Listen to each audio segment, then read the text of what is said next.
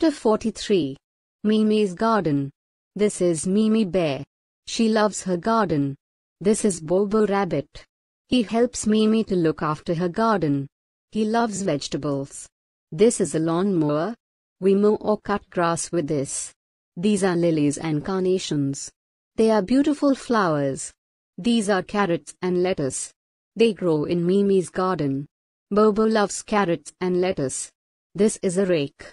It is used to gather dead leaves lying on the ground and put them in a heap. Mimi Bear had a lovely garden in front of her cottage at the end of the wood. There was a green lawn, and beautiful flowers of many kinds grew in the garden. Red and yellow roses grew along with lilies. There were pink and white carnations too. Bobo Rabbit helped Mimi. He mowed the lawn. He raked the dry leaves and kept the garden clean. Mimi also grew vegetables in her garden. Bobo was fond of fresh vegetables. He took good care of the carrots, lettuce, potatoes and peas. Mimi would let Bobo have as many carrots and as much lettuce as he liked. Mimi watered the plants every day. She loved her garden. A. Write the names of all the colors you can find in the story. Here, answer. Green, red, yellow, pink, White. B. Name the vegetables that grew in Mimi's garden. Answer.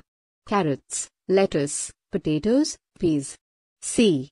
Which vegetables did Bobo like the most? Answer. Bobo liked carrots and lettuce the most. D. Which flowers could be seen in Mimi's garden? Answer. One could see roses, lilies, and carnations in Mimi's garden. E. Which of the following are true and which false? Write T for true and F for false next to each sentence. 1. Mimi did not look after her garden. Answer. F. 2. Bobo was fond of carrots and lettuce. Answer. T. 3. There were no carnations in Mimi's garden. Answer. F. 4. Mimi watered the plants every day. Answer.